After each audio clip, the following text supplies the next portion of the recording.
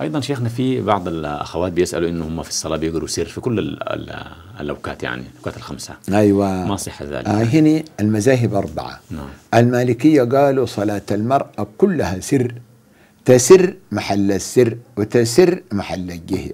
ديل المالكية. مم. أما المذاهب الثلاثة قالوا المراه تجهر محل الجهر وتسر محل السر زيه زي الرجل واحد. لكن قالوا إذا صلت بحضرة رجال قالوا في الحالة دي تقرأ سر. يعني امرأة مشت لشغاله موظفة وفي الناس هنا دا دار تتوضا تصلي العشاء مثلا يبقى الحالة تقرأ سر إذا في رجال جنبها وحاجات كذا. مم.